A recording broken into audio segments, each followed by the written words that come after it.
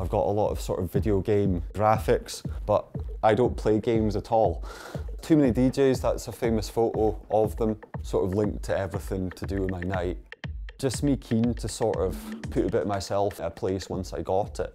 I've got a photo of a DJ's mum, but not my own. a lot of DJs specifically take themselves very seriously. It's nice to be cool, but ultimately I think we all go out to have fun. I want to put on a night for exactly everything I want and for everyone to love it and say, wow Harry, you're great.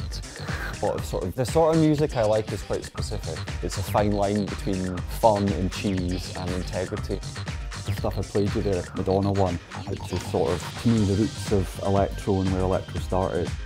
Errol and Mr. Oizo with Flat Eric. The branding's very important to me, the logo and the way everything looks. So it's been in the breakdown, it's coming up. I'll sometimes do something like this.